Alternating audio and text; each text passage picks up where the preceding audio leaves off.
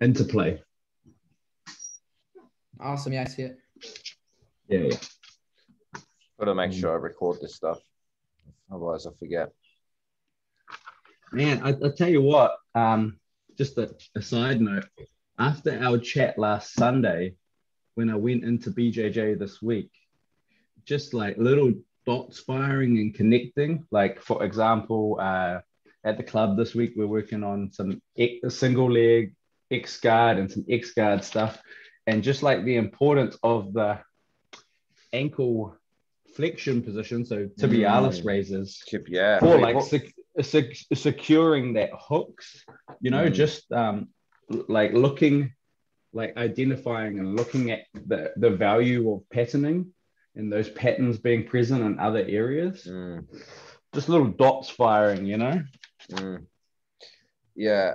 Um, I'm I'm currently still stuck in uh, quarantine, but I definitely I definitely feel yeah, it's just um, having more awareness of the positions that we we we, we put ourselves in, and then what are the the main functions through that, um, such as you know using uh, X guard, uh, De, De Riva as well, De La Rivas and stuff like that.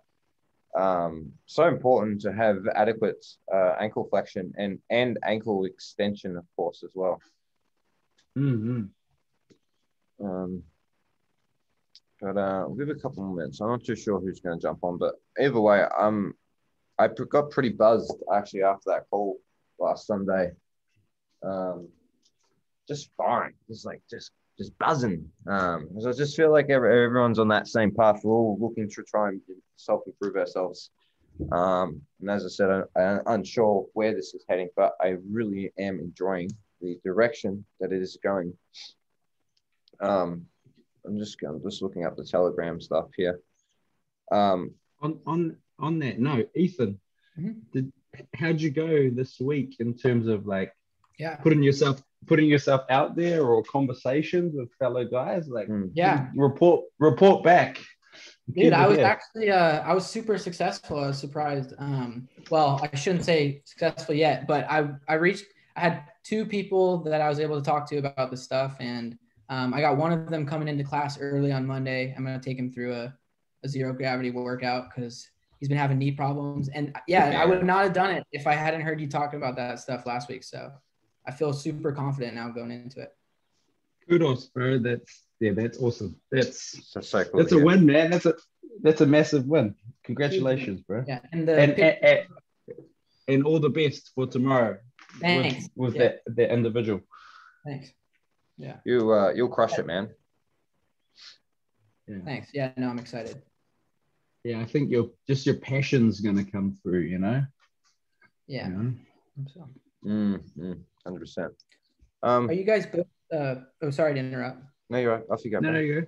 You guys both? I didn't get to ask last time. You guys are both full time trainers, yeah? Yeah, Great. um, uh, I'm full. I'm not full time, but uh, I make a, enough income where I can work online, essentially. Yeah. Right. Um, uh, where? Because how much is the? I make. Uh, I'll, actually, I'll tell you exactly. Pro- approximately make um right now because I had to move now, so we're in quarantine, so I don't have no face to face business anymore. Um, making approximately eight hundred Australian dollars, which how much would that be in US? That'd be a lot less, of course. That'd be about what, 500 maybe? 500 US maybe? Five hundred. Yeah, I'm not sure. Yeah, roughly. Yeah. Yeah. I, I think uh, the dollar is pretty similar to um, Yeah. New Zealand as well, I think. I'm not up to date Yeah. with the dollar, but uh, yeah, we're, we're able to, but we're, I guess we're both able to survive um, quite comfortably now. Yeah, I'm um Coaching yeah. I'm I'm I'm I'm full time, Ethan. Uh I'm back in the bracket face to face this last week. I would have I haven't done the count yet, but it would have been somewhere in the marker of 40 to 45 face to face sessions. nice. Wow. Um, Nice. That's good. and my my income bracket is I get taxed too much. Let's put it that way. I get taxed way too much here in NZ. I'm in I'm in that top. I'm uh, it's a six figure. So it's 100k plus business NZ dollars per year. Um, Easy. but I'm at, uh, but I'm at that um, I'm at that tipping point now where it's like I want actually want to reduce the number of com- contact sessions. So I would like to shift, like offer people value, say that their cost per session is less, but so that I can put them into twos and threes because you know 40 to 45 contact sessions is just not allowing me as much time as I would like to work on these other projects. So Mm. I've, I've got a I've, I've got a good problem right now, you know, and it's just like selling the solution. So um, yeah, A- and you know we're bit, we're, we're quite blessed here in NZ that um, touch wood. I do think there might be another lockdown coming soon, but we haven't we've been we haven't been in a lockdown for like a hundred and fifty or like six months sort of thing, you know. So um, we're we're able to do like we're able to go to festivals, you know, like there's concerts happening every weekend, so it's it's a Yeah. little bit That's unheard of. dynamic. That's unheard yeah. of at the moment. So, Uh, like like like we did New Year's, you know, like we did New Year's proper. So like we're in, you know, like so I don't that perspective of like what's happening in the world, you know, I'm- I'm aware that we're pretty blessed to be able to do that face to face. But in the same breath, like maybe it's keeping me in the face to face model where I could shift towards the online as well. So I have to be aware of that too, you know, because I am a little bit in a comfort zone with the face to face and mm, maybe it's like not pushing me to the other space you know so mm, i gotta i, I gotta keep that balance, you know mm. hey nick good to see you bro Hey Nick, Hey man, good to see y'all. what's up, buddy? You good? Yes, sir. Always. Man, you got the beard going on too. Oh, maybe maybe th- maybe this is a new rule. Like uh, if you're gonna jump on the call, you need to have a beard or something. I don't know. True. True. I Has to um, be a certain certain length. yeah, yeah. I'll have to get the measuring tape out. Yep. Um, hey, um we, we heard from ethan before nick um just wondering how your week has been in terms of like you know what's come of the conversation last week and application and whatnot Yeah. So um, basically, it has. It's been a super busy week. I'm trying to get ready for Worlds, doing a jujitsu. Um, when's world? but uh, it is. It's in a couple months actually, but our coach just buckled down hard on us. Uh, it's and October seventh through the 10th Mhm. But uh, he basically gave us the whole speech. Like, if you want to be a world champion, you got to train like a world champion, do what others aren't willing to do. So you know that got us all fired up.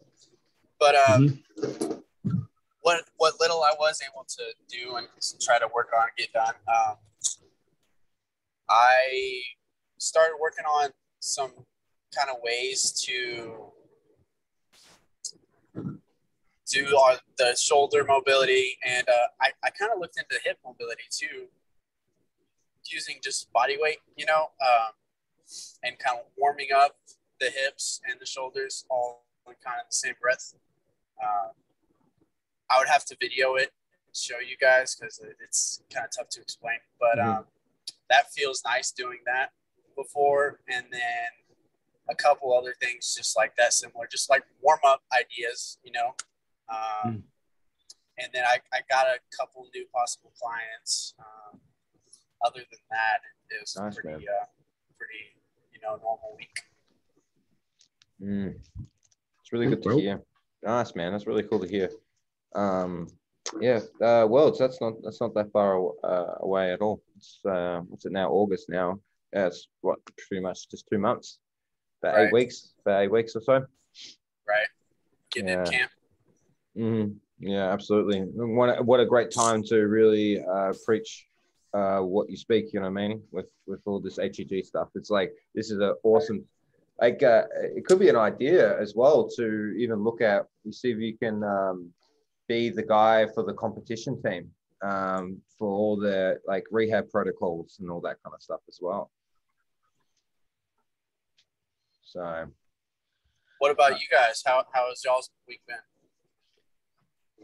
Well, I think uh, I think uh, Devin, you you seem to um, actually. How how has your week been like um, as well? I think uh, Ethan, you've had a very successful week. Um, yeah. What about yourself, Devin? Um, so I was on a real buzz after our call last week. So I started really like nothing, um, put my head down and I started basically writing out the template for my workshop on the 28th. Um, which just it just flowed like it was just in the zone, you know, and it's just really taken some nice structure and um, yeah, and I think I've got some good ideas in there, which actually I wouldn't mind sort of like running past you guys and getting your feedback and thoughts on um, as part of today's call. So that that's been really awesome. Um, and then this morning, just before I jumped on the call, I responded to our three the three questions that were asked, mm, and um, you know, you know, and and um, yeah, like the, I really liked that we put in the professional thing because the question about how do I organize my day, it really highlighted it for me this week.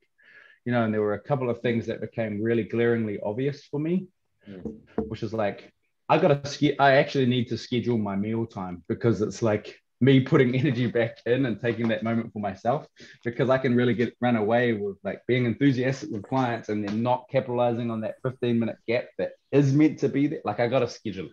Mm. It's just like as I get busier, I have to get more efficient with it. So I went and actually got this weekly planner. Well, actually, one of my clients gifted this to me. Perfect timing. Thanks for training me. So I'm going to actually use this because to give it more like visual, you know, appeal for me. So um, but yeah, and then this morning I had a real like light bulb moment. I went to the gym, I trained, did me, and I was in the shower and I went boom. Okay, I know what my next step is for the BJJ club is that. So this one coming up is bulletproof for BJJ, zero to minimal equipment GPP. And then the one I want to do in November, I'm going to drive it towards slant boards and kettlebells mm. because that's the most effective use of the space. Plus, when I think about like um, bottoms up stuff, 90 90 carries, like thinking about what we're talking about with Kimuras and that, like the the patterns and what we have, the front rack stuff, you know, like with the kettlebells, what we, it's so transferable to BJJ, and we don't need a squat rack and this and that, you know, like I think um, Pedro is going to put a, a, a, get a pull up bar fabricated. So between if he gets that done between rings TRX, the pull up bar, and kettlebells. That really is a complete system for BJJ, and and, and so um, yeah, I, I'm I'm buzzing, man. I'm buzzing. I'm just little things, just having those moments, you know. So yeah, um, yeah, and I, yeah, like I said, I I, I want to share with you guys where I'm at, sort of with this my my my workshop because I think there's some good shit happening here. I'm keen for some feedback just to as a mm. as a soundboard. Might as well keep going. Yeah, keep um yeah, show show us what you got. Okay, so I'll I'll give you the the overview. Um, so I always like the idea that when you um, kick off a workshop, you need to sh- share your personal story. You know, and, and the strength of this workshop, as I've said previously, is as the buy-in we have from the success of rehabilitating Pedro, this, our sensei, from his um, potentially debilitating knee injury, and also my own personal story, and, and, and my colleague will be presenting with me with our injury history, and also like my colleague who's going to be presenting with me, he, he he's he coached one of our good friends to a silver medal at the um, at the Delhi Commonwealth Games in decathlon. So his previous experience, he was strength and conditioning coach for the New Zealand Breakers and also for a lot of New Zealand track and field athletes. So right at the outset, we want to create that buy-in with the story. Um, and then we want to shift towards, you know, like focusing on that injuries and that, that I want to I want to burst the bubble and say, you know, um, although the, the workshop is bulletproof for BJJ, let's be very clear on the fact that we can't bulletproof against everything but we can have better prepare you to reduce the likelihood of injury or to get you or introduce ideas to get you back onto the mat faster if injury does happen because there's so many variables at play as we know when it comes to injuries. So um what's the solution? Well introduction pr- principle number one do no harm. You know that's a dan john um, principle that i really like and that's like something we should carry into so many areas of our life you know like just do no harm physically do no harm to your reputation just just you know anything that does harm like avoid it like don't do it it's a no-go zone um, and then what we've spoken about previously uh, introduction of the injury protocol you know, as the athlete, what's what's the care and repair team? So what's the network we're building, physios, chiros, osteos, etc. And what role do the coaches play in this? Introduce the notion of specialization programs. So knee ability zero, which I'm going to give send out to everyone in attendance via email because that's what Ben says. Like share this with the world, you know, like boom, like the the the money they're paying for the course, it, like they'd be paying that for knee ability zero if they went and signed up anyway, you know. So like again, that's something tangible that they get in their inbox immediately, you know. Um, focus area, shoulder and upper back, the notion, um, uh, lower back issues, hips and glutes. Um, introducing the idea that we're going to periodize the warm ups for the for the club, and also we want to create a better cool down culture. You know, so like once before they leave the mat, before they leave the gym, what are some simple processes and protocols you can do? One idea is like reset breathing, um, which is something I picked up from PJ Nestler. You know, three minutes where it's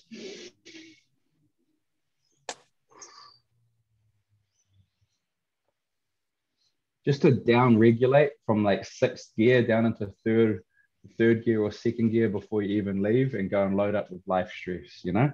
So that's the first sort of bit which then leads into the notion of like recovery and principle number two sleep trumps all else or something to that effect you know? So we've got two principles now. Number one do no harm. Number two is like the only training worth doing is that which you re- can recover from. So sleep trumps all else you know, and then layering in. Uh, I don't know if you guys have ever listened to the Matthew Walker podcast with Joe Rogan. Well worth your time. He's the sleep doctor. I think it's like 1089. And something in there he talks about is like they got these these mice and they attach these like little sensors to their brain, right? And so they put them in this maze. And when they're running around the maze, it like registers like dum dum dum dum dum dum dum dum like there's a gap sort of in their learning process. They continue to listen to these mice when they sleep, and it was like they're just like they sped it up, put them back in there, and they just run through like they know their way around. So um, there's a, a tip for you: go and listen to that podcast. Well worth your time in terms of the value of sleep and recovery. So principle number two, and then um, touching on principle number three: um, fuel for performance. And so the key principles I want to convey is one, eat multiple meals per day. Two, cut out processed foods. Three, eat fruits and vegetables at each meal. Four, drink more water. Five, eat protein at each meal. And six, be strategic about starches and or grain-based carbohydrates. Just as some six key pillars that covers the nutrition thing. And then, um, all right, like where are we now? Where are we going? And this is where I introduced the belt syllabus. It's based off the tab system as well. So there's four stripes at each level. Um, and so what I'm proposing for the white belt is the ability to perform a standing pike, palms flat on the floor, and then the trunk flexor endurance test. So that's the 60 degree sit back. Um, it's, it's a McGill test protocol. The basic a side plank hold and then the Sorensen hold as a muscular endurance test. So that's what I'm proposing as the white belt for the syllabus because having that muscular endurance through the core underpins one, the reduction in the likelihood of lower back pain and, and related injuries. And two, it also means that like your joints are going to be able better able to perform their function because um, proximal stability creates distal mobility. So that's base level. And then I want to introduce the four stages of learning by doing, um, I don't know if you guys have heard of the Fukuda stepping test, which is basically 60 seconds, eyes closed, marching on the spot. And um, when you take out that sensory feedback, people often go off like in various directions. But I want to sort of use that one, that's a great test in of itself, and two, to introduce the unconscious incompetence, conscious incompetence, conscious competence and then unconscious competence stages of learning process that underpin the direction we're going. And then with that all done, I'm going to go straight into knee ability zero and do that 30 minute or, or whatever, 30 to 45 minutes that it's going to take me to take them through the 10 pieces of knee ability zero. Boom. And then I'm working on the rest of the template of the workshop, but that's when we'll probably go into the shoulder stuff, neck, blah blah blah. So that's where I'm at. Um, yeah. Fuck. Yeah. That's uh that's pretty cool, man. You've you got you put a lot of love into this. Yeah, I'm I'm pretty happy with where it sits right now. I think it's a nice flow. I mm. think it makes sense, like to cover off some of those, you know, principle one, do no harm, principle two, sleep trumps all else, principle three, fuel with purpose, before actually getting into the movement stuff. Because if they can improve some of those areas, mm. like, and like, we know that when you're on the mat, like, fucking, like if someone taps, like stop you know like we understand the principle of do no harm but like let's ingrain it into like just you know we, we understand it when it comes to others but what about ourselves is because we're so type a personality sometimes. You know if we can fuel a little better we're going to sleep better. There's a nice interplay there. Anyway. Yeah. Yeah. I love it. I think i think that's what you've what you said there too like um not i feel I feel with a lot of like stuff like this you see in, in, in the past and even now, like they just purely just focus on jujitsu and they just focus on just what's happening on the mat. But we tend to forget what about outside the mat? What about you know, mm. like sleep? Like educating people about sleep. Um, you know, that's not only just to prove your your jujitsu, but we're also looking to prove the quality of life. And I think something that maybe we've unintentionally done with uh, this group chat with uh, I think actually you actually brought this up, Devin, was about having a professional question, you know, how to organize your day better or how to, you know, whatever it is, how to manage your social media or something like that, right? Uh, that is a part of the culture that we're, we're creating right now. It's not just about the improving and, and improving your longevity of health. It's also outside the mat. So you can be a black belt on and off the mats as well. And I think mm. that's something that's quite unique about it. Where I've seen uh, there's there's two guys. Uh, uh, they, they, the business is called Bulletproof for BJJ, and um, really good guys. Um, and they, they don't do any of the ATG system or anything like that. It's just a very you know, traditional of you know um, kettlebell stuff and, and all that kind of stuff that you see right now, right? Um, but they purely just focus on just improving on the mats, just improving the mats. And I think definitely, I think that's important. But having that vision that is so much bigger that we also want to self like even with this group call, it's about improving ourselves as people. Because if we're improving ourselves, that means our business are naturally going to follow with that. And I think uh, having making an impact on people's lives by just even teaching how to eat, like uh, I, I don't know from your experience with running your face-to-face sessions at the moment um, and your experience as well, Nick and Ethan, but uh, I feel like most people undereat protein. They don't, they, at least they eat 50% less than what they should be eating. And really important note there, because if you're not eating adequate sources of protein, therefore your, your likelihood to get injuries is significantly a lot higher.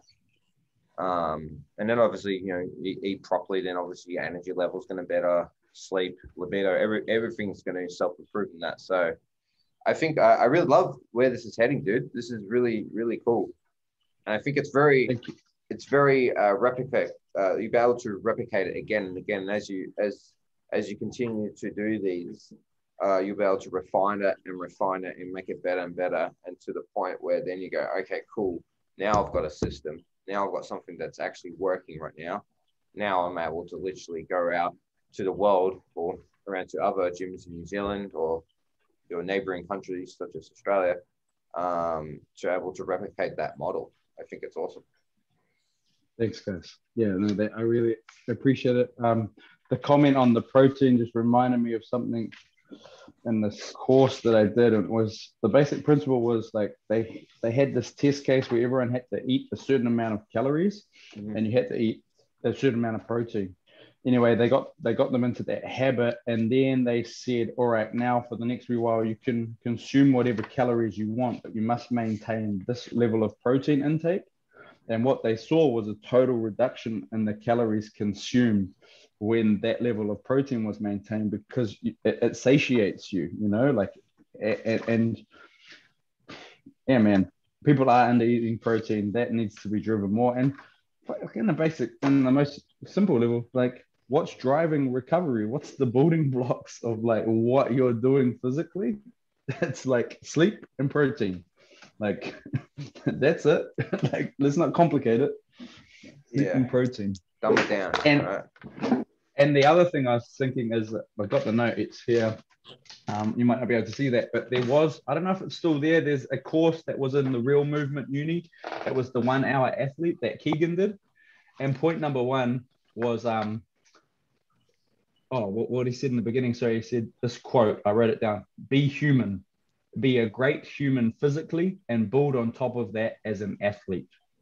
You know, and that's Mm. the like, because great humans make exceptional athletes, you know, and that is the sleep and the nutrition thing, you know, it's like that, that going forward with love and like the environment we surround ourselves with, like it's focus on the human piece first and, and like the athlete shit follows, you know, and that's really where I'm trying to come from with that first part of the course. It's like, can you do better in these three areas?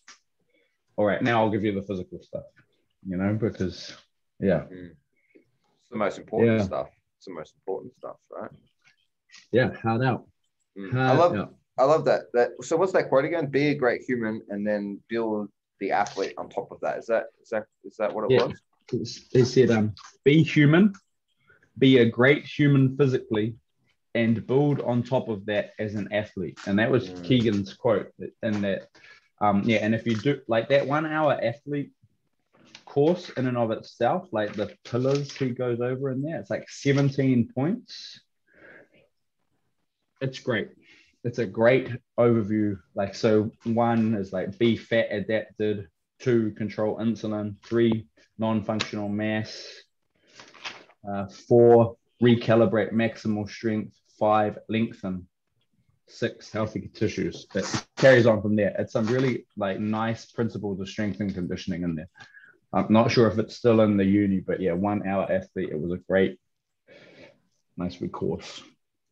Um, yeah, and and yeah, what do you think about the the white belt syllabus being that like that standing pike, then the trunk, tho- those various forms of the endurance test? Feedback on that? Yeah, that sounds good. Uh, I, I love those. Those sound great. Cool, awesome, awesome. I think it's great too. Yeah. I and I think it's still achievable.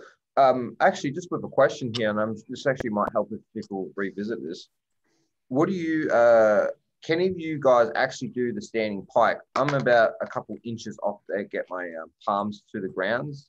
Um, but have you guys, uh, one, are you able to do it? And two, or what are you currently doing, or what things have you found that's able to get a bit more length through? I feel like it's the trunk, or so the the thoracic spine that seems to be the the restriction, obviously from you know, grappling, push pull, push pull, right?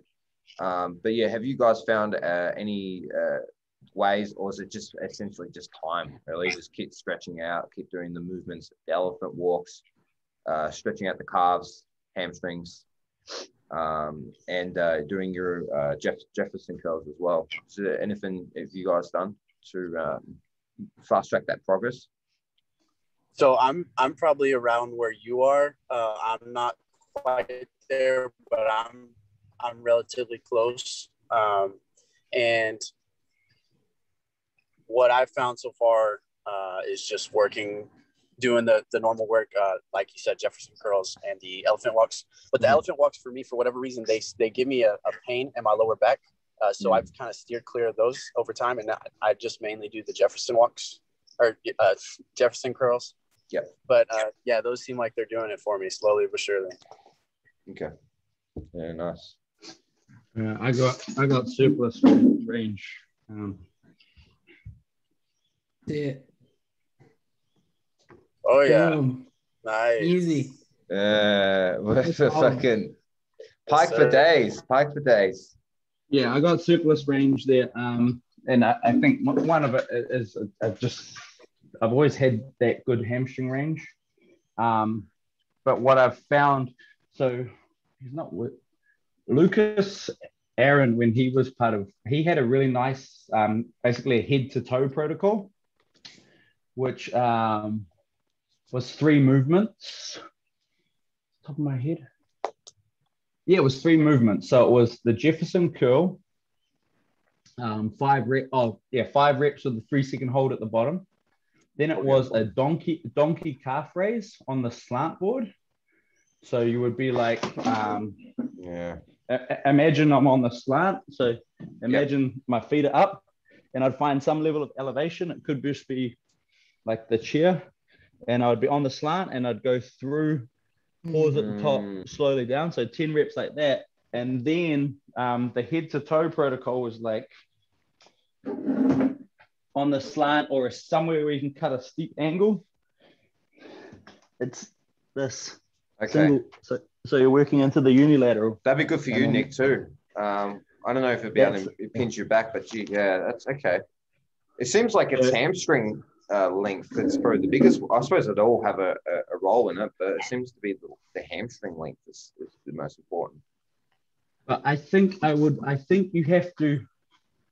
You need to counteract that by doing L sit holds and, Have and like doing hanging, hanging knee raises and that because you gotta, you know, like um, Ben actually talked about it in the Mark Smelly or Joe DeFranco, the Joe DeFranco pro podcast. He, he spoke about how like the seated good morning lengthens the glutes Mm. while the ATG split squats um, strengthens the hip flexion.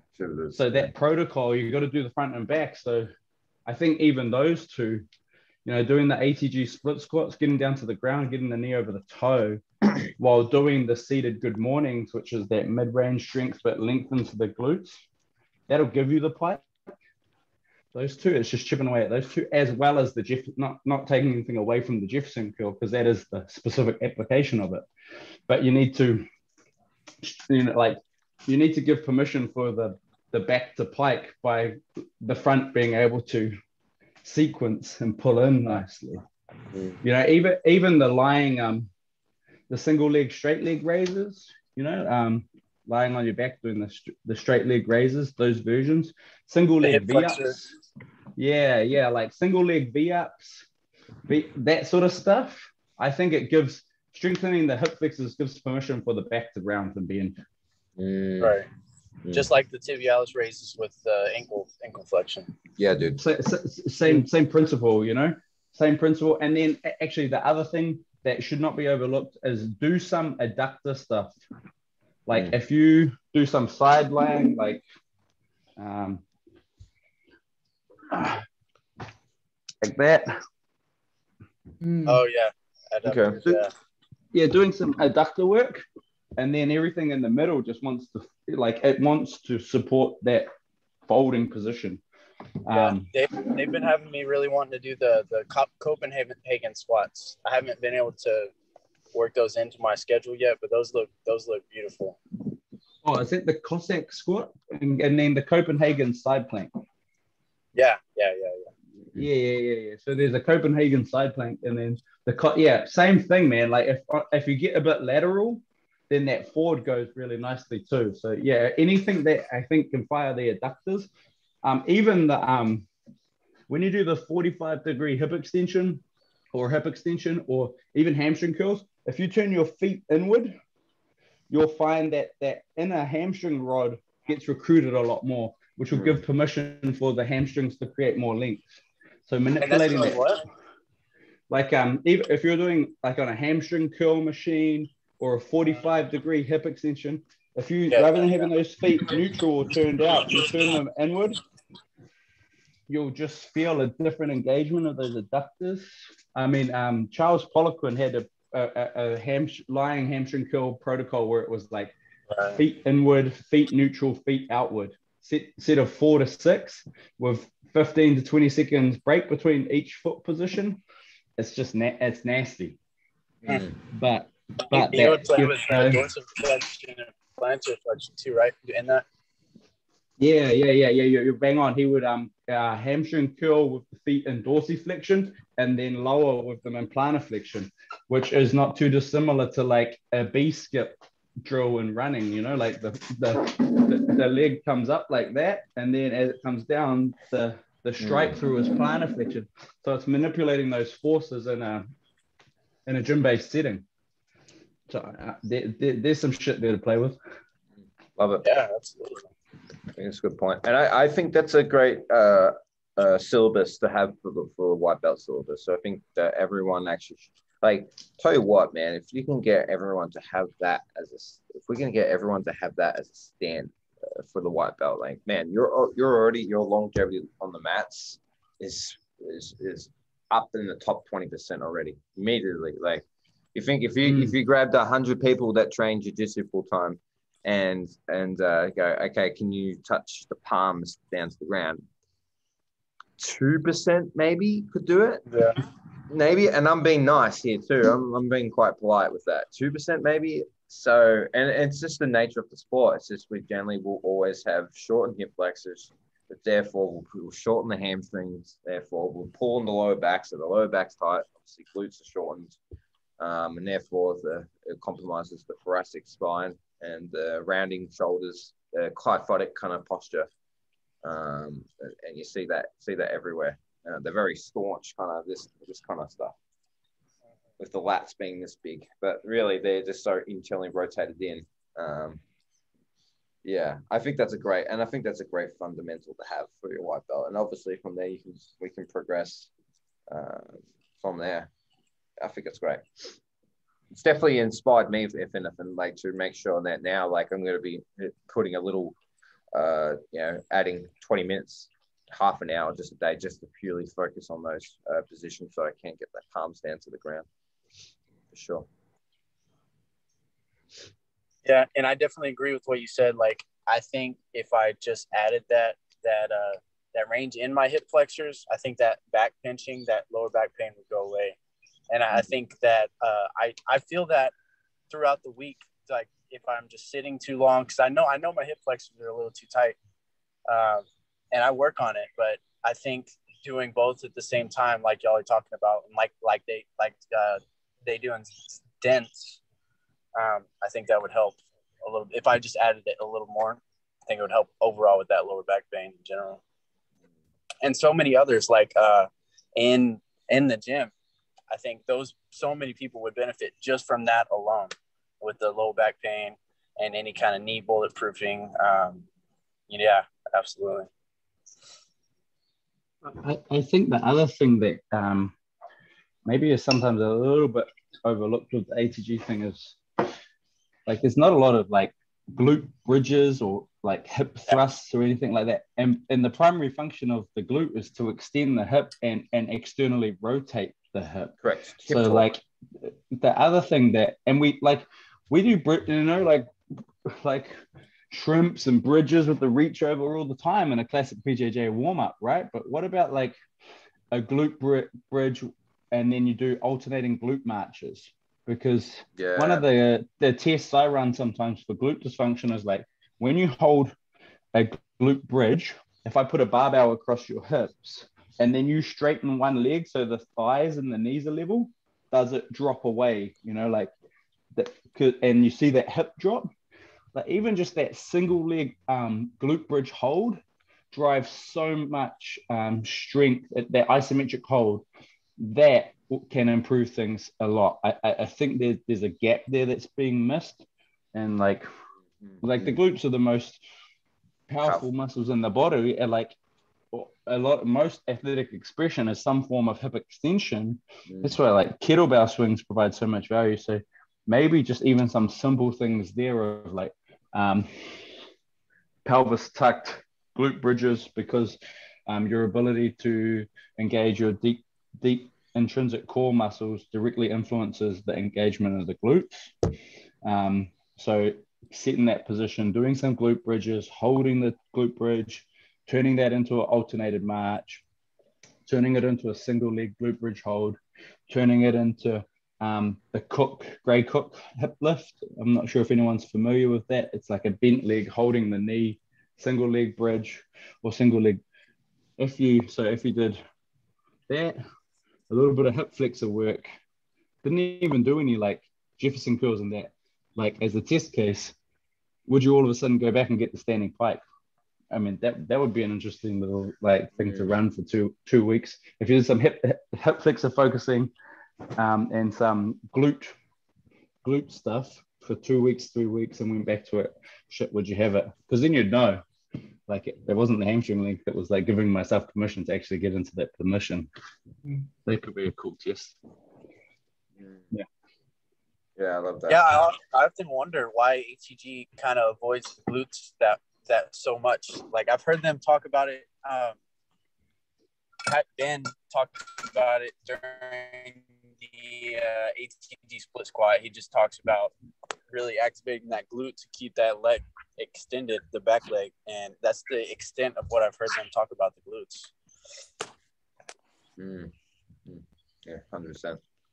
Yeah, and I guess it's more very important for uh, the sport in Pacific. Like you think about if you're uh, in a bottom position and you've been mounted, the your key to or the ability to extend your hips to create any sort of micro space is going to be extremely important. If you can't extend those hips efficiently, you see how the um, the body dysfunction is going to make it very hard to create create those little micro spaces. So you can literally, you know, you know, when you're on the bottom trying to create some space, get you know, get some hands in to create, you know, get a little elbow, a knee in, and then from the knee in, you get just keep building your frames up so you can regard um, where other sports maybe they don't have that because uh, I think what Ben comes from a, a, basketball background, so I guess the glutes. I think the glutes maybe maybe it's just a, a relationship uh, with with the glutes. Maybe the relationship's always different, um, but at the end of the day, if you can't, you know, the ability,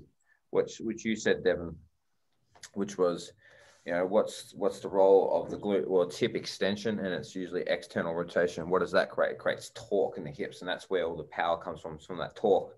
And uh, something i do with clients as well is i get them to practice screwing your feet in the ground or practice talking up your hips. And what happens? Boom now you have arches. Now you have strong arches in your feet. So again you have strong uh, stronger place arches in your hips. You now uh, you're more stable, and obviously this is obviously going to help with with being on the feet as well. Um, you know, the big issue is flat feet. Flat feet is generally because through the lack of hip torque. It's not actually not through genetics. Sometimes genetics have a little role in it, but it's actually through the lack of hip torque. So, and I think that can translate to uh, many other aspects of life as well, like the longevity of your knee health if you can't talk your hips, then obviously you see with the knee injuries uh, with older people, I find uh, they tend to wear. Uh, if you look at their X-rays, they tend to wear more on one side. It's really common. It's because they've lost the ability to extend the hips, so then their knees kind of go like this, and their feet are like this. So then you times that by 30 years, 40 years, and then go, oh, I've got arthritis in my knee. I'm, I'm 40 years old or 50. I've been training jiu-jitsu my whole life. Oh, just getting old. But it's like Mm, actually, you just haven't been able to extend your hips for the last 30 years. And now you've got this wear and tear effect of degeneration. And now you've got this uh, issue with meniscus or uh, arthritis of getting the cartilage done more worn than uh, one side to the other. Can, at this juncture, can I propose then that um, maybe glutes is the focus for this week? Yeah. Because I, I think that's a gap that we've just identified. Like, mm. because because all of my clients, I'm either doing like um, you'll know this, um, Lachie, like I'm doing the the lock clam, you know, the Andrew Lock. Yeah, like, Andrew Lock, yeah, yeah. Yeah, yeah. Or I'm doing side plank clam shells, or I'm doing like lateral banded monster walks, you know, because it, it gets that like glute med firing for that hip torque. I'm often doing like glute bridges, or and then the next phase of their warm up is like alternating marches.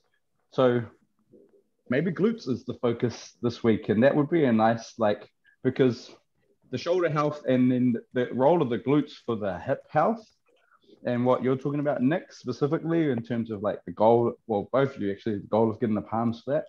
Maybe glutes is our focus for this week. That that would be a nice direction, I think. Hmm. I just uh, I just sent the um, Dr. Andrew Locke is he's a weird dude. He's a weird he's a weird dude, but uh, he knows his shit. He's a, he knows his shit. Um, if you search him up on Instagram, just send it there. Um, I can send. I've got his building the foundation PDF. It's like Oh, really? pages. I'll, I'll drop that into the um okay. the group for everyone because it's got links to videos too. It's Oh, got, it's great. got some neck. Yeah, I think you guys will find that a nice. Actually, it's it's it's got the sh- the big three, the shoulder big three in there. Mhm. That document actually, in terms of as a, a base point for all, all BJJ athletes, is a really useful starting point. I'll drop that in to the um the group today. Thanks, bro. Appreciate it.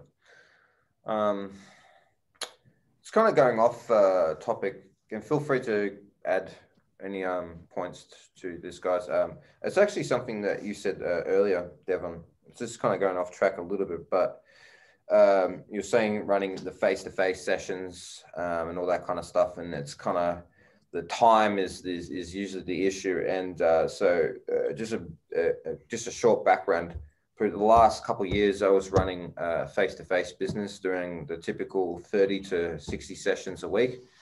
Um, and uh, one, it's a great, it's a great business because you, you, you tend to, um, it's a, it- it's a very good six-figure business at least. Um, but the issue is, is the lifestyle. And then the, we're now starting to see the issue is, um, and I think I'm just, this is just from experience. I'm starting to see that, uh, the face-to-face model is is um, very dependent on on, on the uh, if gyms stay open, and um, so my story so far recently, uh, I I can't remember it was maybe uh, four or five months ago. I think we had a couple of lockdowns, and I literally made that call. I was like, I'm literally moving everything online. And then I'm going to slowly reintroduce some face to face, but having the online as one of the main sources of income. And um, since I've been doing that, um, definitely the lifestyle, uh, I'm, I'm able to um, understand my values. So my values is, is, is a good lifestyle. I control my time. I want to be able to, you know, if I want to go see you guys in America or if I want to go visit Devon in New Zealand, I can do that and still be able to work. Um, so just just some ideas that uh, I think every PT tends to go through is we go we build these uh, this the the face to face business up is is the number one thing, and um, it depends on your values though. It just depends on your values. If you want to work at a gym full time, then that's definitely the business model for you. Um, but if you want to be able to have a bit more I, diversity, I guess, with the business, then maybe have mixing a little bit online and, and face-to-face or what I did was going full-time online, built that up. So now I can actually just pay the bills and put a little bit of money away. And now I'm going to slowly reintroduce face-to-face, but the, the face-to-face are going to be the high quality kinds. They're going to be the, like, you know, I'm sure you guys have worked with people where they, if you tell them something, they do it. If you go read this book, they do it. Um, you know, you give them the program, they do it. They don't ask any questions, they just do it. And I'm leaving that 20% gap there just for those clients because those are the ones that give give the best results and they give you the best testimonials and they give you the best referrals as well.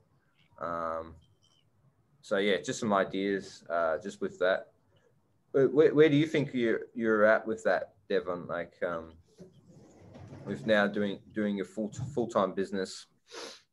Um, I bet I also think there's an there's you got we've, we've got this ATG for grappler stuff too. So how do you uh, foresee over the next three six months, even to a year now? Like where where would you start to be in, in that time frame? Hmm.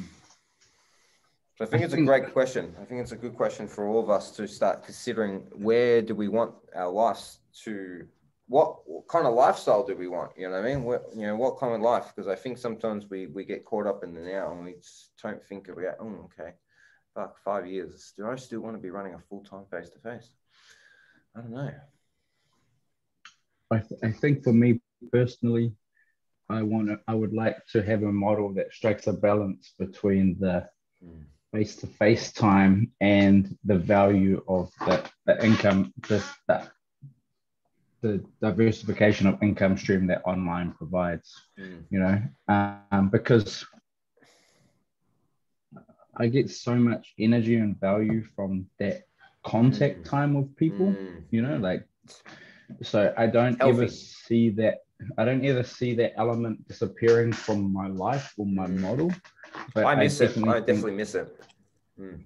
yeah and and but i definitely think i can integrate and one of the great str- struggles i've always had with the online thing is like creating the checks and balances to ensure the quality control you know that's Mm. why like like tr- like TrueCoach and that platforms like that improve the ability to ensure quality control because um, clients can directly load videos you can put your own videos in you know what i mean but previously it was, i feel like it was harder like you just send someone a, a pdf of the training program and it's like um, Joe DeFranco said it the other day, like basically said that, it, it, it- you know, he runs into people at, at the train station. They're like, oh, Joe, I'm the greatest fan. I've been following your like strong bastard 911 program for 15 years. And he's like, he looks at them and it's like, but you don't look like you have been. It's like, can you send me a video of like, and then he gets a video of their Mm. form and it's like, ah, fuck. So that's one of my great, great internal struggles is like when I'm face to face with clients, I can like lay it like all of my clients. I drive technique because one of my my personal mottos is I want them to outgrow me. I want them to be able to walk into any gym and understand the way I approach their training from a template perspective. You know, I want them to be able to train themselves in, in a safe and effective, do no harm. Principle number one, do no harm way. You know, like, you know, I think we said last time, like, do no harm. Number two, like, know your shit. Number three, don't touch the girls. You know, like, Mm. you know, like I, I- I want them to have one and two, do no harm. Uh, number three is good as well, actually. You know, like, but um, yeah. To, to- to your one. to, to your question, um, this this thing uh, I'm creating, this education, that that's my focus right now, and right now that is an in-person education model, but it because of the demand created for like conveying so much information, I'm gonna have I have to record more stuff, which will lend itself towards me creating a an online platform in some manner or form. What that looks like, I, I don't know. You know, like um and, and just recording the workshops themselves creates an online space. But yeah, I definitely like I I want to start a family in the next two years. I, I can't be Mm. doing 45 con- contact sessions a week. I, I want time. I want to free up time. You know, I want to free up time. So that it, it, that is a really, yeah, that's a valid question. But yeah, uh, to sum up, I don't ever see the in-person piece leaving.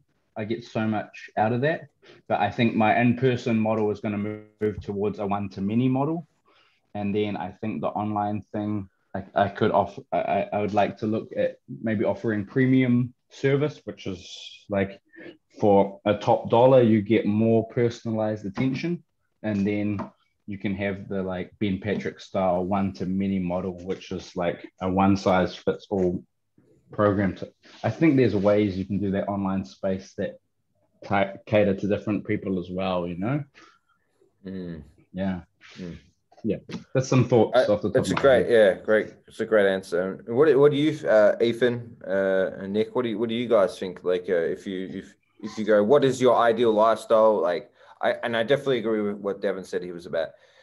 Uh, I I tell you personally, I I miss the face to face. I miss that interaction. I um I think what I initially thought, you know, running full time online was great, but I, now I'm starting to see that I, I need a little bit of face to face. You know, I mean, I, I love my lifestyle. I love to travel and be free and be able to be nimble. Um, so that's why I value the online. But if you, if I ask myself the question, I'd say I probably prefer face to face, uh, because of the interaction. You get that buzz, that connection, building, you know, that those relationships with people. But yeah, what what do you guys think, Ethan and Nick? Like, where where, where do you want to see yourselves uh, with your businesses in the future? Go ahead, Um, Ethan. Yeah, I can start. I'd say, well, like I was sharing earlier, I, I'm yet to really, uh, I'm still in college. I'm a student for the most part. So I'm yet to really train any clients one on one, but that's definitely where I want to head towards. And um, yeah, I've had a lot of, been thinking a lot about what the best approach is, you know, in terms of uh, how to maximize profits while still providing, you know, a good service and, um, yeah, I've been thinking about that stuff a lot. So I think it's important conversation to have. And um, yeah, I think I lean more towards wanting to do the in-person stuff, but like you're saying, it takes a lot of uh, hourly. It sounds like it takes a lot of hourly effort to do that, and uh, you know, might not be the most effective in terms of making money, and, and so that's something I'm starting to think about more. So, what about you, Nick? So as for me, uh, I so as soon as I got my certification as a trainer, I that was kind of always my goal is to be online. Uh, I knew I'd have to start in person because um, just to get those reps in, get get some uh, understanding of the deeper things that you can't really just get from watching videos and stuff.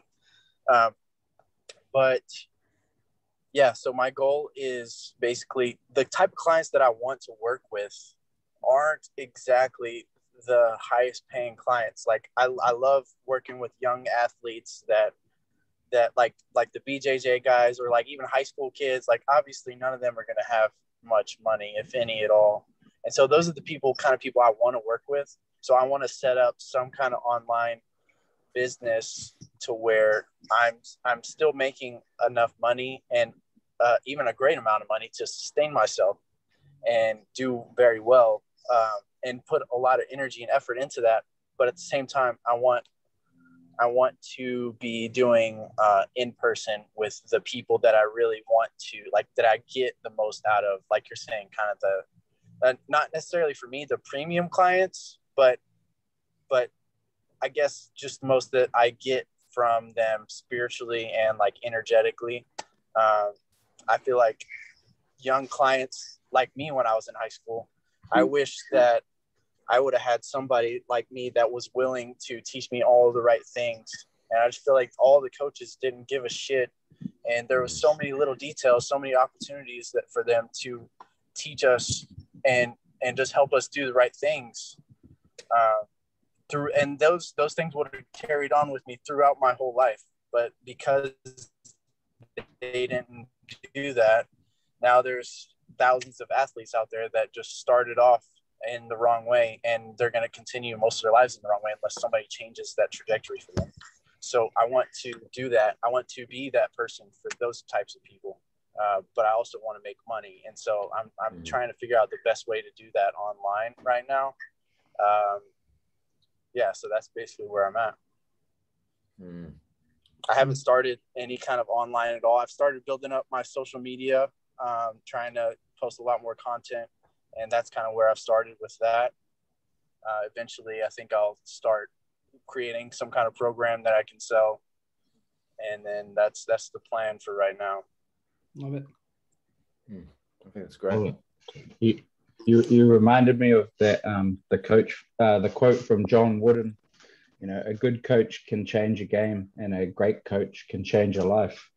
Mm. Uh, I love that. That's, that's what I heard from you, Nick, and that's brother. So kudos to that. You know? Um, gentlemen, I'm going to have to go. I've got my mum in town. I'm taking her to Yum Cha. Um, awesome. Yeah. I'm buzzing. I'm buzzing yeah. again. Thank you to yeah. everyone for your time and your energy. Thanks, Devin. Yeah, thanks, Devin. Yeah, really appreciate you, it. I'll um as I said, I'll drop that um, Andrew Locke building the foundation PDF in the um the chat because I, I think it's quite a cool reference document for like the pillar and, and getting that, some of those things going. It's quite rudimentary, but he just had so much success in Australia um, with like people with lower back pain and that. And that's the upper end of the spectrum of what we're talking about with BJJ guys. So I'll drop that in. And um and and um, I might take some photos of what I shared with you guys and drop it in the group just as a reference too yeah. as well for Please. the workshop. Please yeah, Thanks, team. Thank you so much, Brian. Peace. All right. Thanks, Peace. Evan. I'll talk to you later, dude. Sounds good, bro. Peace. Cool, guys. Um, I'm pretty, I'm pretty pumped on this call, man. Like, uh, is anything you guys? Um, it's been what's it been now? It's probably been an hour. Yeah, been an hour. Um, is anything you guys want to add uh, to this week's call? Is there any other questions or any other ideas that you guys want to share with right now? Um, Go ahead. Go ahead, Ethan. I was gonna say the one thing I thought of during the call was uh, maybe a good discussion to have in the future would be thinking of like some sort of uh, normative numbers or testing protocols that we want to uh, use for for BJJ people.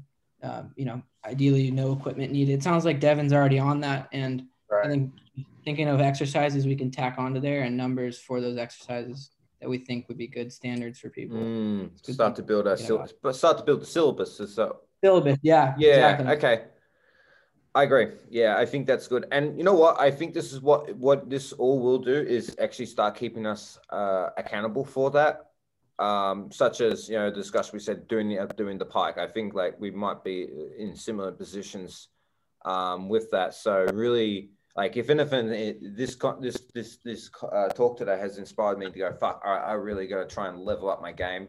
So that way, one, I can you know start being the the endorsed ATG coach, but also uh, be the role model for other jiu-jitsu athletes, so they can actually go. You know what, man? Like I was so fucking tight five years ago, you wouldn't believe I couldn't even get past my knees. But now, you know, with the system that we've worked on now, you can do that. So it's it's just uh, I think that's uh, you know the old saying with coaching, you know, you you are the walking advertisement. You know what I mean? So if, if you know what I mean, if you uh, are fat and overweight, you know, it's going to be very hard to sell yourself. But you know, if you can, you know, touch, you know, palms to the ground and able to do good form with ATG stuff, um, I think naturally, uh, and you know, obviously film it with good content. I think naturally you're just going to have clients because fuck, I want to do that. You know what I mean? Or Yeah. I, w- I want to look like that. Um, so yeah, I feel that's gonna. I think that's great, and I think what we can do is start looking at ways that we can start building the first syllabus. The first syllabus is going to be uh, the white belt syllabus, and then what we can do is then we'll see. The goal for that is making sure we can all do the white belt syllabus, and once we got the white belt syllabus, once we feel like, yep, this is a really good couple standards to have, then we can build into the blue belt. Yeah, and as we progress as, as people as well, um, we were able to build those build those out um, within the future as well. Um, Awesome. right, Yeah, that's a great idea. yeah, just one more thing, I guess, with with everything. Um, the I think the professional development within this this this uh, coaching calls too is going to be is super important as well. I think naturally as we grow as people, as I said, the business will follow.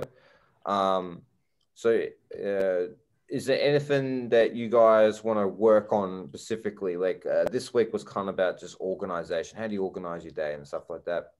Um, but is there any uh, challenges that you guys are currently facing right now as as you know stepping into a role as a coach and just growing as a person in general? Is there is there something that you guys would like to focus on for this week so we can start having those discussions? Off the top, I just think of time management, Mhm. Okay. Yeah, But- time and I feel like that kind of goes into organizing your day a little bit. But uh, Okay. maybe maybe there's there's some of it that can run off and be by itself too. Yeah, I'd say that also one thing that came to mind. Maybe we could do it. Uh, talk a bit about relationships. Um, uh, could be like family relationships or you know partner relationships, whatever that be. Mhm. Yeah, I don't know. I think it's great you're bringing that stuff up, Lachie. I mean, um, it couldn't be a better time for me to start thinking about a lot of that stuff. Mm. And uh, yeah, I appreciate you incorporating that and this not just being about the body and BJJ. I mean, there's so much more to it, like you said. So Mm. Yeah, and I, I just I just think like if I was I'm just trying to reminisce, you know, when I was your age, you know, and what would I done differently. And it's like I wish one I was always it was so I was so focused on just learning the body and learning all that, but I really forget there's another aspect of training, and this is something that I really work on with with the clients that I work with now. It's like you also want to be, you know, the black belt off the mat now, and I, I there's so many black belts. Uh, I, again, I don't know in America, but in Australia, but off the mat, they're just a freaking yellow belt, and which is fine. But the problem is they they're not great role models to have in the gym. You want to as a role model, and this is like even like I try and be the best role model I can. It's like, uh, so wow, I actually want to be like him, but be better like him. You know what I mean? And Yeah. I think when you instill that culture within your coaching business, but on the mats as well, like I feel like that's gonna it's it's how to build good culture, I think. And um, Really.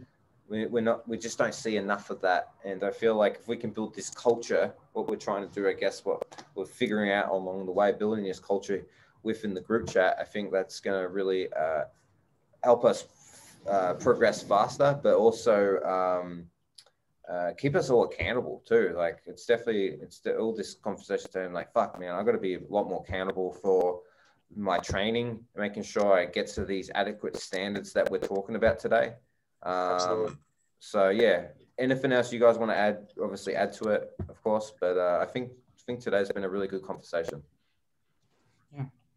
Every time, man. Every time. So Uh, I just want to ask Please. what your um, what your online business looks like right now. Yeah. 'Cause it seems like you're doing pretty well.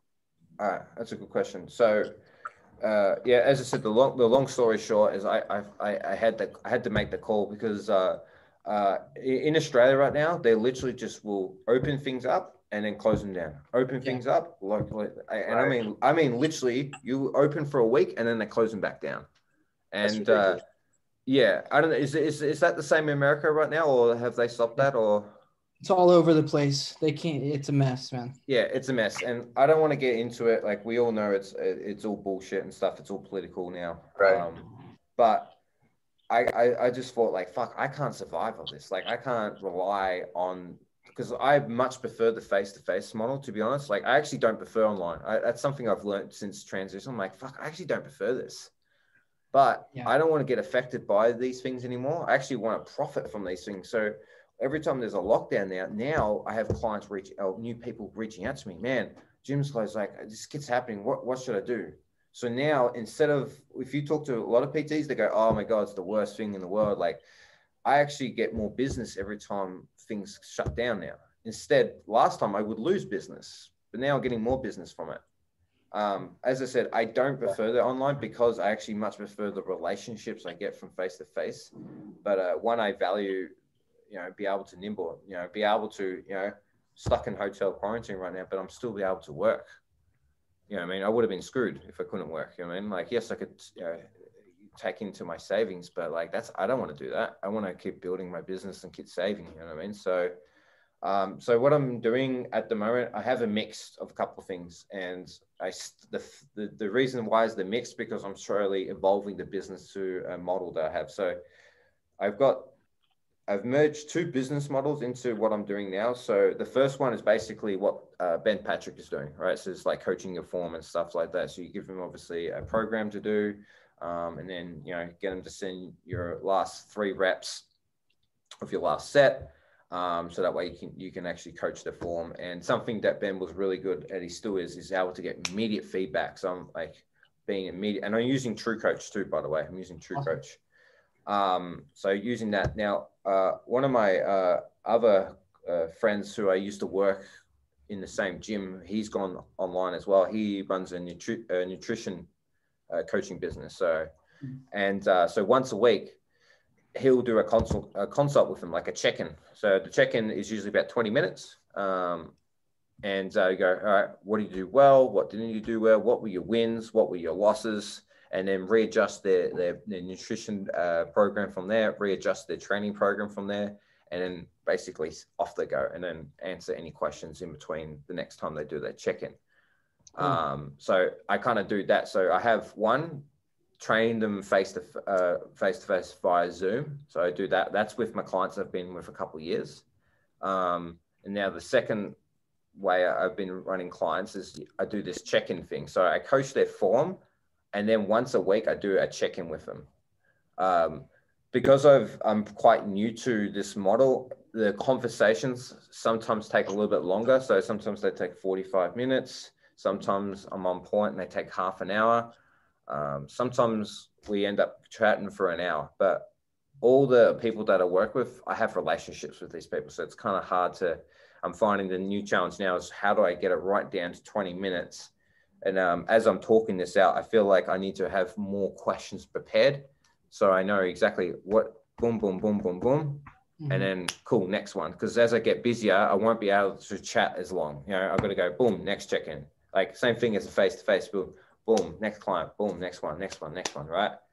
Um and that's how i've been currently doing with that. Uh i get them books to read um, so any books that I, I listen on audible or i read on my kindle or just read uh, um, fiction this is uh this is a really good book actually i recommend. The richest man in babylon. Uh, That's a great book. yeah classic classic book. Um and uh something i'll do with the group chat i'll, I'll start screenshotting the, the books that i read. So if if it's a title that entices you or a problem that you're trying to face at the moment um, feel free to buy those books um, and that's how i've been doing it now the the challenge uh, right now is creating a funnel so a lot of my business comes from referrals um, I am currently working with one uh, client. She, she has a MS, uh, motor motor neuron. Um, I can't remember the, the whole thing. So basically, the neurons stop firing up. So basically, like the message to receive to move my hand. That's how it kind of works. Um, so she has a carer, and we we we're doing. Um, sometimes we do face to face, and then sometimes we do like conversations. What were the challenges this week?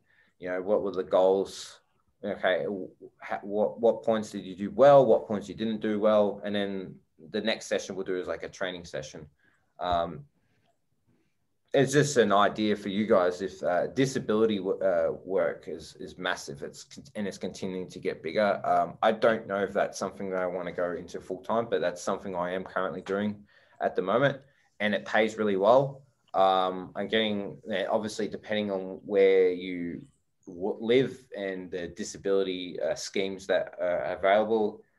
It's I get paid. Uh, I think it's 107 107 dollars an hour, and then they get paid another uh, hour, um, which, which yeah, get paid another hour to do reporting. So I, go, I give them a report, so I give them an update, so that so the the carers know what's going on and the family members know what's going on with her. Um. And I do and I do that online as well um, give them books, uh, give them, you know, make sure they're meditating, uh, make sure they do their breath work, um, journal, all that kind of stuff. So that's another, actually, there's three things. So it kind of shows you that you don't have to have this perfect, perfect model. I've just started and I'm kind of just, yeah. I'm just kind of just figuring out as I go. Um, but the the one that I want to do the most is these check-ins. If I can just do the check-ins and coach their form, I, am able to run able to have a lot more people um, with that model. The only problem is, is again, it kind of gets stuck into that face-to-face model because there's only so many people you can can work with. Um, right. So I don't know where that future is. Whether I end up looking for other coaches like yourself, um, but the issue is, is I need to make sure I create good funnels that are consistently generating new clients in. Um, so right now, uh, I'm almost finished. Actually, Devin kind of called me out on it. Um, because a lot of my foundation work is actually from building people's morning routines and night routines. Because when you start to build your morning routines and night routines, you have to start prioritizing your health. And when people start prioritizing their health, they start to recognize the bullshit and the barriers that they put on, on themselves. Um, so I, am currently just you know, almost finishing a, just a PDF ebook on how to create your morning routine yeah. and then tips how to do that. And then what my plan is from there, I'm either gonna. There's two ways I'm looking. I actually would love your feedback. I'm gonna uh, get people to go attend to a masterclass on this. So I'll give everyone a free ebook, and then I'm going to expand on the book, and then from there, then I'm going to direct them to my coaching from there. So I've gave them heaps of value. Um, I'm going to go through my Facebook, um, just my normal normal personal Facebook, and I'm literally going to message every single person. Hey, how you going? How's your mental health? Blah blah blah. Hey, I just created an ebook. Um, what's your email address? So I just wanted to send it to you. So hopefully you can just take one thing. And if you take one thing, like fuck, like it's it's I've done my job right. You know what I mean? Um, and I'm looking at ways to build new clients that way. Um, and then obviously from there, like there's obviously YouTube, there's the podcast. So I'm still trying to figure it out, of course. But I think the most important part, just from just articulating what I'm doing right now, is there's no perfect model. You just kind of kind of just have to start and then kind of figure out on, along the way, I guess. Um, Yeah. and that, and that's that's what I've been doing um, at the moment. Uh, as I said, I don't prefer online, but it does give me my lifestyle that I want. Uh, It, it creates nimble and um, you know what I'd, I'd pick that every single time. You know what I mean? I, I, value my lifestyle over money every single day. You know what I mean? Um, so yeah, that's kind of where I'm at with the online space. Like I know you guys definitely want to do it, and uh, people will often say it's hard and all that. And I don't think it is. It's just going to show if you can still give people value face to face. Like, and you know what? Think about the world. What's going to happen in 20 years from now? It's going to get more virtual. It's not going to get. This is not going to like. This is not the the last time we see this stuff. It's this technology is going to come more in our lives uh, you know, we're going to have more of this these conversations around the world. Like the fact that we're talking to people around the world right now is crazy, and this is going to keep happening. So, and when people say they have objections, because some people won't actually prefer online, and that's you know absolute respect. But for most part, it's like, look, man, you're going to kick any lockdowns. You're going to have new challenges on the way. This is going to Yeah. continue to happen. You know what? Like, give, give me give me uh, one month uh, commitment, and I'll guarantee I'll prove you that I can still give you results through within one month and show you that you don't need to have a face to face all the time. Um, and even and even if they still have objection, I go, cool.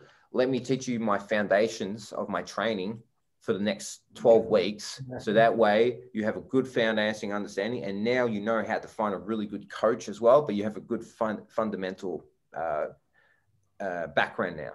So now for you know your longevity of health is definitely uh, in the first place of your mind. And this, like I said, there's a few ways you can handle those objections as well. But um, but my challenge right now is creating content. You know, what I mean, that's like, what kind of content do I want? What content do I want from Instagram? I know you guys have been doing that a little bit. Um, I know Nick's definitely been doing that, and I think uh, I just had this breakthrough actually last night. I was like, "Fuck, you know what I've been? I just need to literally copy what Ben's doing. Like, literally just, Yeah. literally just copy that. Like, that's all all I've got to do." And I was so it's just an idea for you guys. Obviously, put your spin to it, of course, but literally just Yeah. copy it. But what's one problem with the copying is you have to be able to do the movements.